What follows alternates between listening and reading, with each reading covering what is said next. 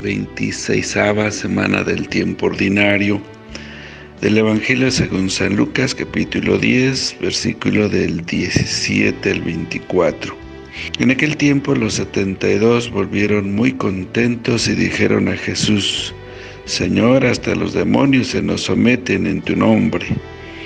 Él les contestó, veía a Satanás caer del cielo como un rayo.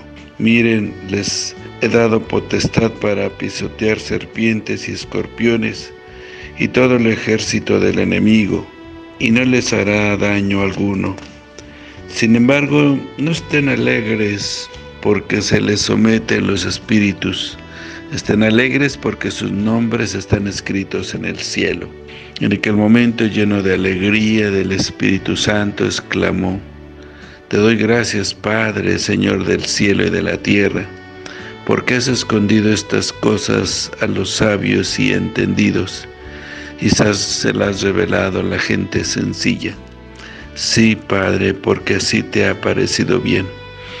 Todo me lo ha entregado mi Padre, nadie conoce quién es el Hijo sino el Padre, ni quién es el Padre sino el Hijo, y aquel a quien el Hijo se lo quiera revelar.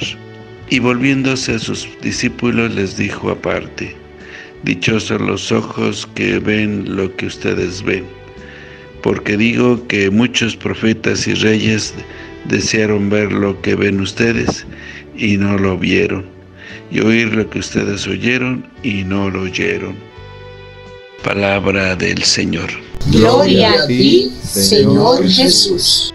La vuelta de los 72 discípulos de su ensayo misionero es eufórica.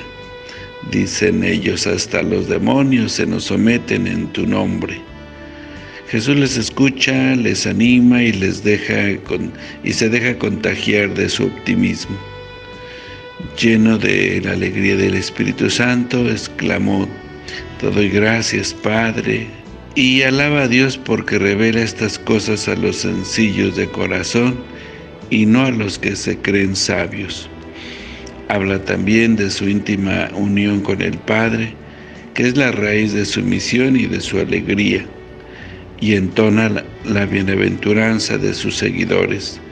Dichosos los ojos que ven lo que ustedes ven.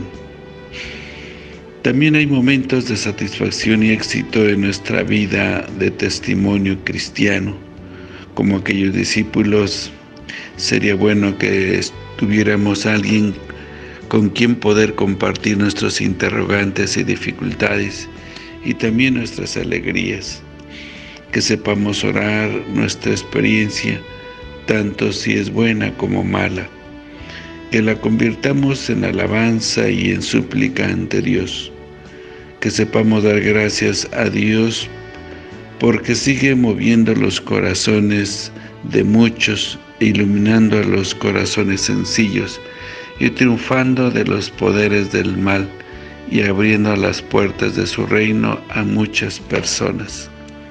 Nosotros somos muy afortunados los que vivimos en, este último, en estos últimos tiempos. Nosotros que hemos tenido la dicha de escuchar la palabra del Señor y llenarnos de su amor y de su paz.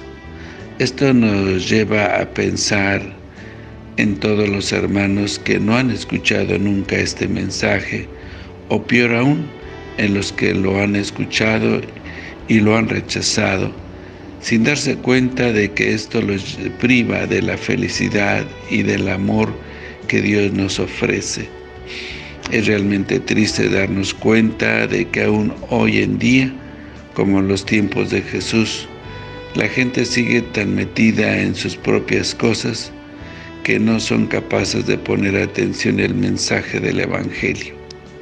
Por eso nosotros, en especial tú y yo, que, que hoy estamos leyendo este Evangelio, somos realmente afortunados, pues estamos seguros que si continuamos diariamente leyendo y profundizando en el mensaje de Jesús, esto traerá para nuestras vidas muchas gracias y bendiciones nuestra vida y la de nuestra familia se enriquecerá enormemente. Debemos darle gracias a Dios por haberle concedido tener acceso a las maravillas de su amor y continúa estaciándose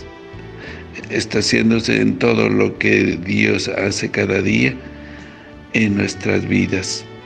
Podemos sentirnos satisfechos, lo que hemos visto en nuestros ojos, la riqueza de la fe, de la verdad, de la salvación que Dios nos ha concedido en Cristo Jesús. Es una suerte que no todos tienen. Podemos estar contentos, como lo dijo Jesús, a los suyos de que nuestros nombres están escritos en el cielo. Es legítima y profunda la alegría que sentimos por la fe que Jesús nos ha concedido y por haber sido llamados a colaborar en el bien de los demás. Que el Señor los bendiga.